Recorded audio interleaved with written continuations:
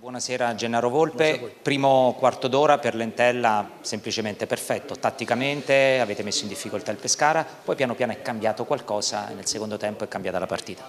Ma sicuramente abbiamo fatto un grande approccio, siamo andati anche meritatamente in vantaggio, poi paradossalmente dopo il gol eh, abbiamo un po' allentato la presa, eh, forse non pensando a gestire, ma in queste partite qua c'è poco da gestire, abbiamo Abbiamo giocato poco, abbiamo tenuto poco il pallone, abbiamo, abbiamo lanciato molto, e, insomma ci siamo un po' snaturati, abbiamo, eh, non siamo riusciti poi ad allentare un po' la pressione che, che, poi il Pescara ci ha fatto, perché il Pescara è una squadra che se la lasci giocare è una squadra che ha qualità, che, che ti può mettere in grossa difficoltà. Ad inizio secondo tempo ho tirato fuori uno dei due trequartisti inserendo Zamparo, quindi un'altra punta, però poi si è un po' abbassata l'entella ci siamo un po' abbassati, i cambi sono stati fatti in virtù di non perfette condizioni fisiche. Purtroppo eh, Meazzi viene da, da, da, da, un infortunio dove è stato fuori quasi due mesi e non aveva sicuramente 90 minuti.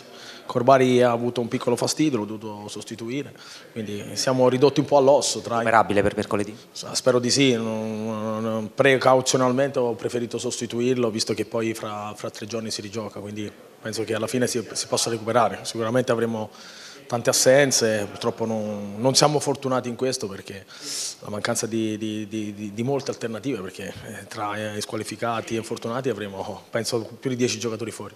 Le chiedo un'ultima cosa prima di una domanda da studio, con l'espulsione di Lescano il Pescara aveva appena acciuffato la parità L'Entella però lì non è riuscita a ritornare a essere dominante, anzi il Pescara sembrava corresse meglio, condizione atletica, punto di domanda, o qualcosa di tattico? Non lo so, voglio rivedere la partita, sicuramente non abbiamo sfruttato la superiorità numerica, paradossalmente con l'uomo in più ci siamo abbassati, anche se l'input che avevo dato era, era, ben diverso, però abbiamo subito un po' questa pressione eh, del Pescara, eh, peccato perché poi anche gli episodi non ci hanno girato molto bene perché abbiamo preso due pali, uno di Meazzi sull'1-0 che ovviamente questi episodi qui determinano poi eh, l'andamento poi del, del, risultato, però insomma sapevamo che nulla è compromesso, che nulla cambia perché queste partite durano 180 minuti e noi ci proveremo fino alla fine.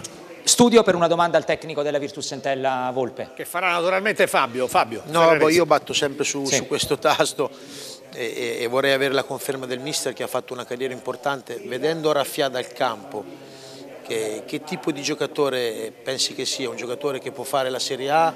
Io credo di sì, o comunque una carriera importante.